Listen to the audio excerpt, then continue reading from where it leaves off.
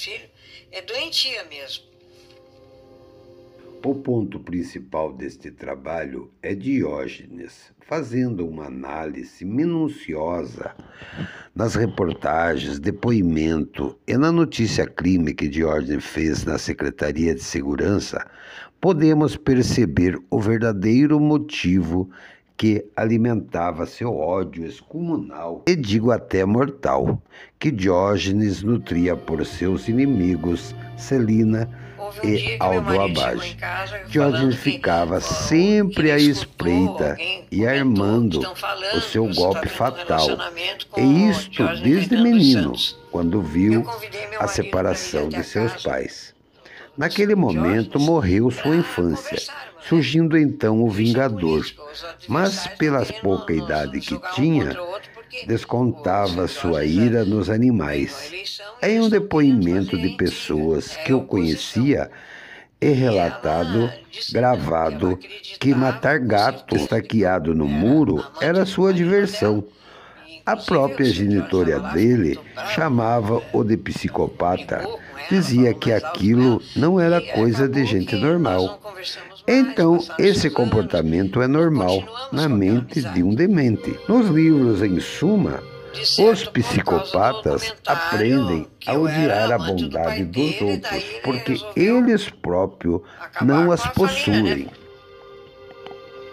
O psicopata costuma ser eloquente e superficiais egocêntricos e grandiosos, não sentem remorso ou culpa, não têm empatia, são enganadores, manipuladores. E demonstram emoções rasas. Ou seja, eles sentem sabor, sentimento ou sensação experimentar algo maravilhoso, como apreciar uma obra de arte. Então, o que temos aqui é o Diógenes, uma pessoa que se demonstra em todos os momentos ser um manipulador, ele não tem nenhum pudor em falar, em acusar, em denigrir a imagem, como denigre a imagem do grupo Tigre, é, enaltecendo o grupo Águia. Por quê? Como ele é um manipulador, ele estava manipulando. E você sabe o que o psicopata mais odeia? É que quando ele não é ouvido, quando não dão voz a ele, o que, que aconteceu? Ele se tornou assim inimigo do grupo Tigre. Por quê?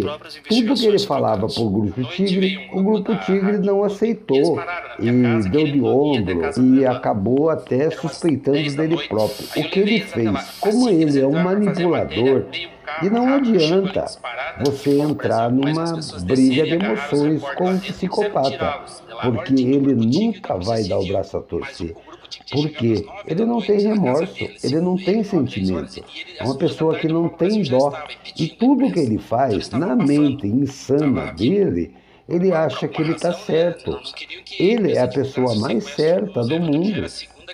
Porque ele tem aquela intuito, aquele pensamento, e ele queria o intuito dele, ele queria conquistar aquilo. Então o que, que acontece? Quando o grupo Águia ele fez aquela notícia crime na secretaria e deram ouvido e voz a ele e de certa forma um certo poder.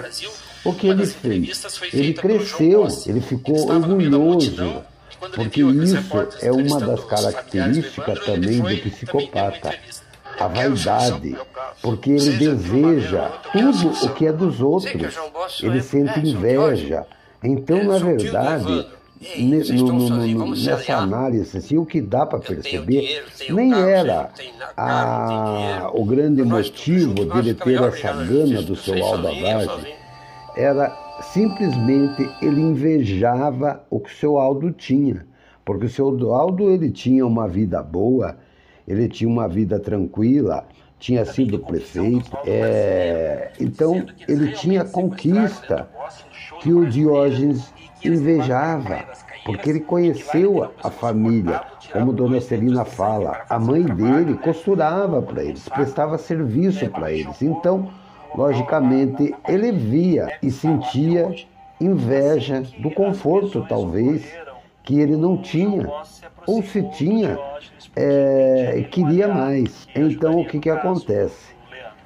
Daí, o simplesmente o boato da suposta traição de Celina Bage com seu pai, isso ali talvez é, foi um gatilho aonde ele começou a se dedicar a isso. Mas, em primeiro pensamento, o que leva a crer, ele só simplesmente queria o que os Abage tinham. Então, é uma pessoa que, o, vamos dizer que é doente, isso já nasceu com ele. Uma pessoa que pode ser normal, conviver entre todo mundo, normalmente, mas é uma pessoa difícil que ele se acha melhor do que todo mundo. Quando ele percebe que ele não é melhor, quando ele percebe que ele não tem o que os outros têm, o único pensamento dele é o de destruição. Como eu não posso ter, você também não pode. É a destruição aonde ele sente aquele prazer e ele dá aquele sorriso raso, como falei. Beleza, galera? Vamos pro vídeo. Eu estou falando no meio do, do, das gravações com duas, né, dois áudios, porque a maioria do que você já está passando aí, vocês já assistiram, já viram, já até sabem de cor e salteado. Por isso, eu estou enfatizando isso. para vocês terem uma noção do que um pouco que eu aprendi, um pouco que eu li sobre psicopata, né? uma pessoa que é assim que eu vejo o Diógenes, desculpem, mas é isso aí. Valeu, galerinha. É nóis. Já deixa um joinha legal, curte o canal, é, se inscreve aí, ó, pra não perder os próximos capítulos. É verdade. Homicídio, vamos dizer assim.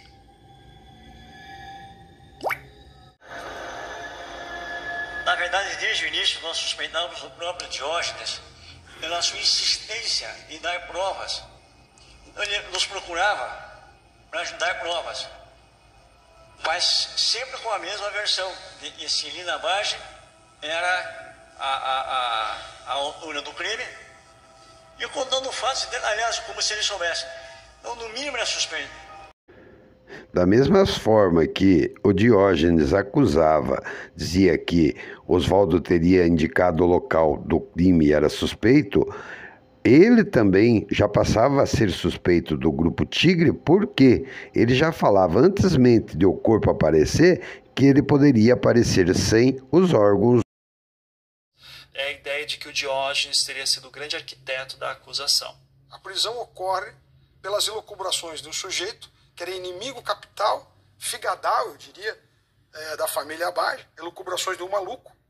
Esse, é, esse, tipo de processo, esses erros graves do judiciário, normalmente começam pela boca de um maluco, que fala uma bobagem, que imputa é, fatos desairosos à honra de alguém, uma conduta, e alguma autoridade dá crédito a esses malucos e acaba é, gerando isso aí.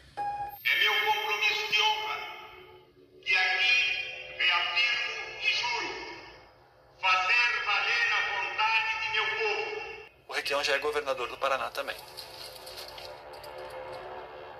Então você, quando chega em 92, você tem uma situação que é some um parente de um grande rival político do prefeito e um outro grande rival político do prefeito agora é o governador, que não apenas é rival do prefeito de Guaratuba, como também é rival do maior aliado do prefeito de Guaratuba, o deputado Aníbal Cury. Sendo que em 92 já eram eleições municipais.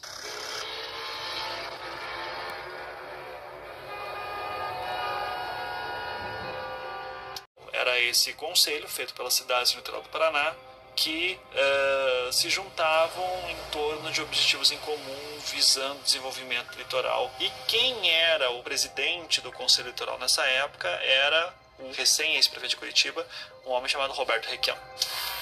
Secretário, nessa polêmica toda, toda qual é a sua, a sua posição?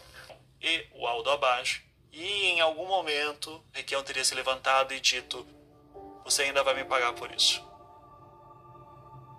O Requião tinha a mania né, de fazer provocações, dizendo que tinha uma área do AU, dizia que ali era um dos apartamentos do Aníbal Curner. Daí o que, que acontece? O Maggi basicamente fala que vai sair do Conselho Eleitoral, porque ele não quer mais se submeter às vontades é, do governo do Estado. E o Diógenes Caetano é radicalmente contra isso. E o Diógenes Caetano começa a fazer uma série de panfletos criticando a administração Abage e falando que ela é corrupta, que ela não está interessada nos, nas vontades do, do povo de Guaratuba.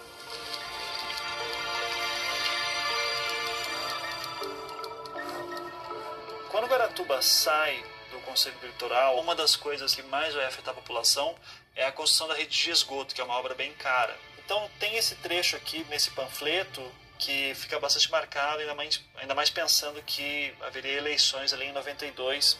Ele fala: Por isso eu vou me candidatar a prefeito nas próximas eleições, e ao ser eleito.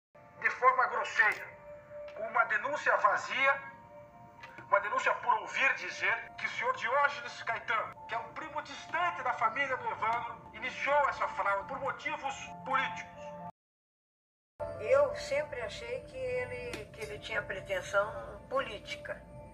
E, inclusive, algumas pessoas que vinham me contar que ah, o Diógenes Filho está se preparando para ser prefeito, que o pai foi prefeito, ele também quer ser prefeito. Você não ganha nem, nem o voto da mãe dele. Jorge, o senhor tinha pretensão na prefeitura de Guaratuba? Não faz parte do, das minhas pretensões, não gosto de política. Esse negócio de partido para mim também tem pouca importância. O que importa é a pessoa. Se a pessoa correta, tá ótimo. E que a sua pretensão era ser prefeito. Só que em depoimentos que ele deu à época, ele diz que não. Ele é muito direto. Ó, a gente parte do Diógenes, chega na Davina e faz as prisões e pronto. A impressão que dá é que se ouviu o Diógenes e acabou. Grupo Águia, Polícia Militar, em concurso com a Polícia Federal. E não, não, não aconteceu nada assim que eu possa dizer que fugiu da normalidade. Eu não poderia deixar de citar o nome do senhor Rubens Serafim, pessoa que morava na casa do senhor Diógenes Ramos Caetano, o qual fazia parte da nossa Associação de Artesãos de Guaratuba, numa Assembleia Geral.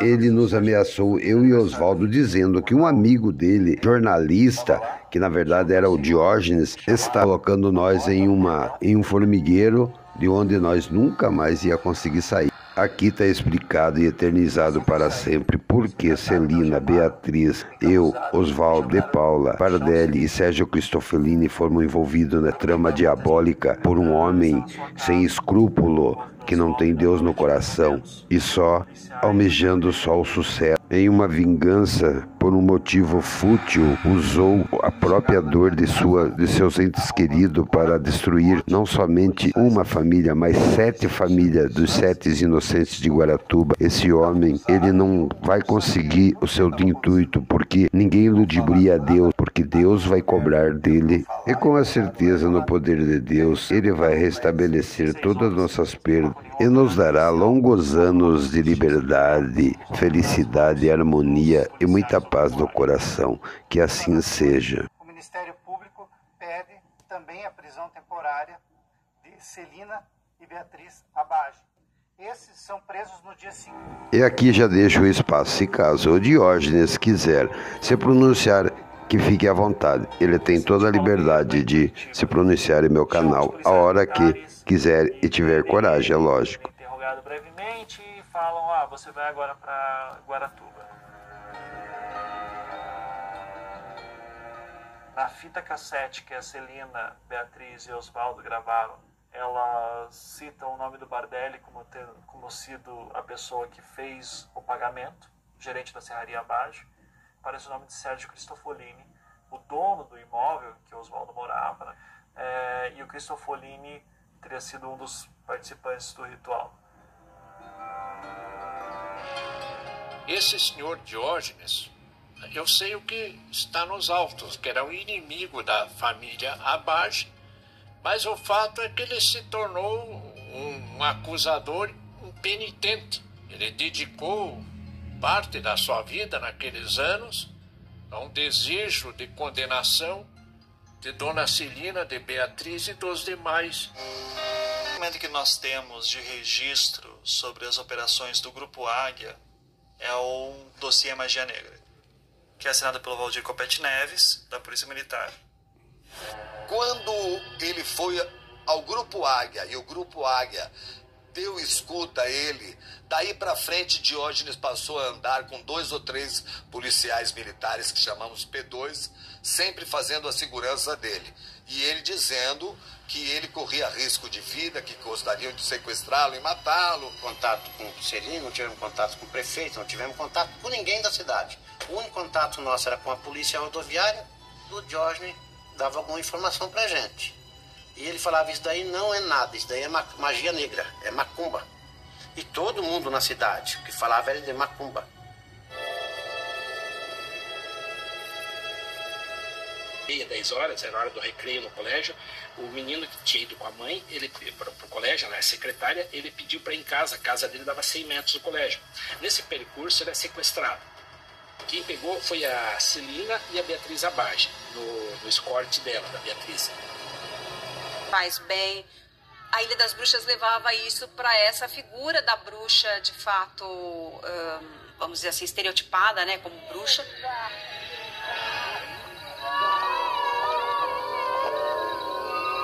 Fazia isso.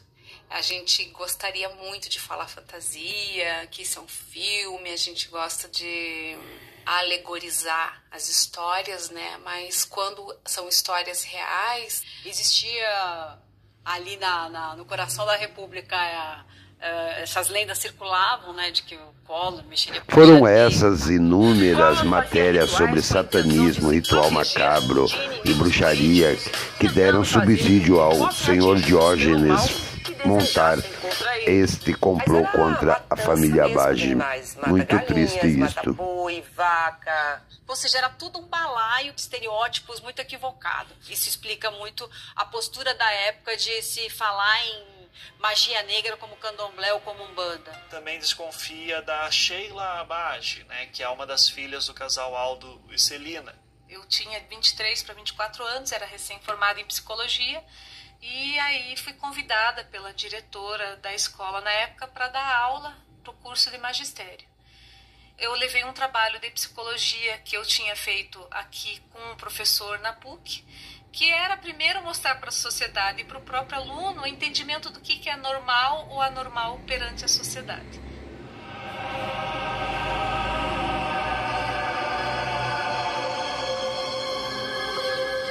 Ela era professora de psicologia e faria alguns experimentos sociais.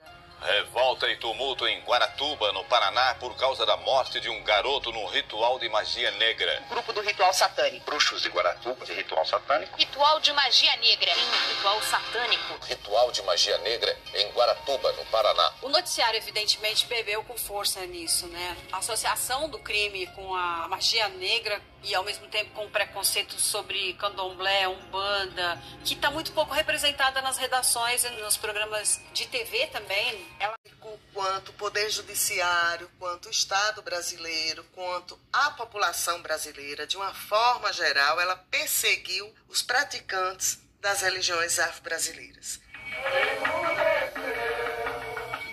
Sejam os declarando como falsários, bruxos, praticantes de magia negra, como charlatões, queimando seus terreiros, é, fazendo mil e uma coisas para levá-los à cadeia. Ila era que ficava mais e o Adalto ia de vez em quando. Até que daí no dia 11 de abril, sábado, pela manhã,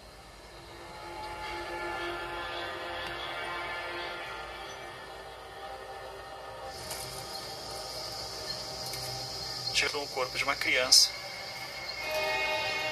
Ninguém imaginava naquela ocasião que esta criança já pudesse estar morta. Foi uma grande surpresa. Diógenes Caetano, filho do ex-prefeito Diógenes, que foi o grande responsável pela elucidação deste caso. Não fosse a obstinação deste moço, dificilmente se chegaria até a mulher e a filha do prefeito.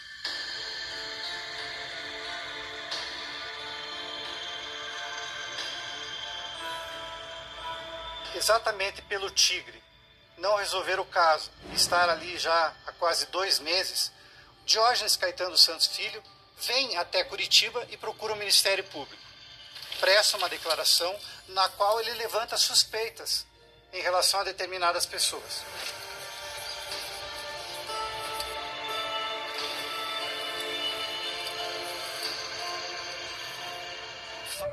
Tinha o telefone da doutora Dalto, da doutora Leila, da, da, do Hotel Vila Real, da casa deles em Caiobá e da casa de Curitiba. Nós estávamos em contato permanente. Até que eles receberam ordem do delegado, diretor da Polícia Civil, doutor Zé Maria, de não dar crédito para nada do que eu falasse. Inclusive, eh, fazer com que eu saísse das investigações. Olha, o deputado Aníbal Cury, na minha gestão, ele jamais fez qualquer solicitação. Eu era muito rigoroso nesse aspecto de não admitir nenhuma ingerência política. Fiquei conhecido por esse modo de agir e até havia uma desavença entre a minha pessoa e a do secretário de Segurança, o delegado Favete, porque em outras gestões o secretário de Segurança costumava influenciar na designação de delegados, de autoridades policiais, nem o próprio governador do estado, a quem eu era subordinado, eu permitia que interferisse na, na, nas minhas, nos meus atos de gestão. Fato do Diógenes ter sido policial por 11 anos um ano como policial militar e 10 anos como investigador da Polícia Civil, sem dúvida trouxe uma enorme credibilidade para o depoimento que ele dá ao Ministério Público. Quando ele chega para o promotor com tantos detalhes, é, a impressão que se passou às autoridades é: aqui temos alguém que solucionou o crime.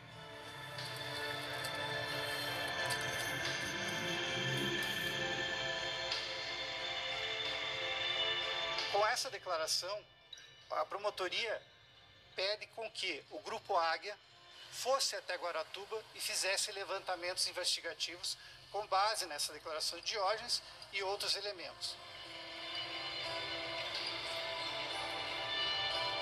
Diógenes prestava alguma informação de conhecimento que ele tinha na cidade para gente que nós não tinha nenhuma outra pessoa. Comportamentos observados em psicopatas é a boa lábia. O psicopata é bem articulado e um ótimo marqueteiro pessoal. Como um ator em cena conquista a vítima, bajulando e contando histórias mirabolantes de si, com meia dúzia de palavras difíceis, se passa por sociólogo, médico, filósofo, escritor, artista ou até advogado. Ele se acha o cara mais importante do mundo, seguro de si, cheio de opinião, dominador, adora ter poder sobre as outras pessoas. De acusação, afirmava taxativamente que tinham sido as abagens. E a Polícia Civil investigava esta linha, entre outras. É? Aí, de repente, temos a notícia de que elas tinham sido presas e confessado. Então, houve um atropelo na, na investigação. Porque nós estávamos ali há meses buscando indícios, buscando provas, tentando uma comprovação, e repentinamente, e não é por despeito, não é por sai a solução do crime ou a confissão dos autores sem maiores provas. programas de TV também. Ela confessou a participação no ritual satânico. O nome de Everton começou a ser cerrado o peito com ele ainda vivo. Depredar a casa do prefeito Aldo Abage de Guaratuba. As pessoas foram ficando cada vez mais ousadas. O boneco de pano foi linchado no lugar de Celina Abaixo. A notícia da prisão dos matadores de Evandro atraiu centenas de moradores para o Fórum de Guaratuba. Celina Baja tentou sair escondida, mas o carro foi cercado pela população que estava revoltada. Tem criança! Lixamento é pouco! Tem que esbagaçar que nem eles fizeram com aquela criança! Tem que proteger! Tem que matar! Desconhecida quando a. A rua está mais larga, calçada, mas o aspecto é de abandono na. Isso do Evandro. É... A serraria pegou fogo. Atrás da serraria você tem um espaço para barcos atracarem, porque tem um rio atrás. Chegaram duas pessoas de barco, mascarados, renderam as duas pessoas que estavam na serraria, prenderam elas, amarraram, jogaram diesel pela serraria e botaram fogo e saíram correndo. Só que o fogo não chegou a pegar a maneira como elas estavam presas não estava muito forte, então elas conseguiram se soltar, apagar o fogo e denunciar o que estava acontecendo.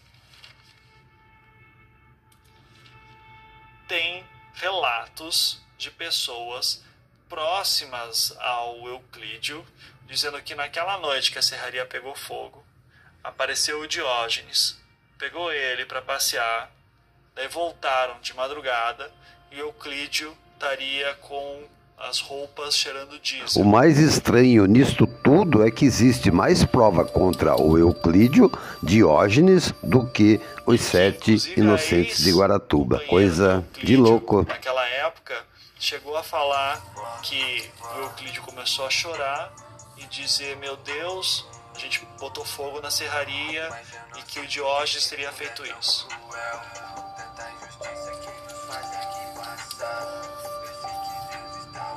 acabou com, com a produção que estava já embalada, tudo, né? Acabou, foi para prejudicar monetariamente, né? Para não ter saída, para não contratar bons advogados, para não ter dinheiro, enfim. Porque você serraria que gerava nosso, nosso sustento, né? Não era a prefeitura. Hoje os funcionários da Prefeitura de Guaratuba vieram até aqui para receber os salários que estavam atrasados, mas ainda não havia dinheiro em caixa. Ele foi justamente é, suspender o pagamento dos professores. Eles estavam recebendo hoje, né, os pagamentos estavam prontos, e mandou suspender e deve ter sacado esse recurso para poder pagar, encaminhar para o advogado para soltar a assassina. Né? O Euclídeo nega que isso tenha acontecido. O Diógenes nega que isso tenha acontecido do Estado ameaçou atirar os presos para o linchamento em praça pública, caso o tribunal ordenasse a soltura. Pessoalmente, irei buscar essas pessoas na penitenciária e as levarei à praça em Guaratuba, onde as liberarei em nome da justiça. Né? Muita coisa.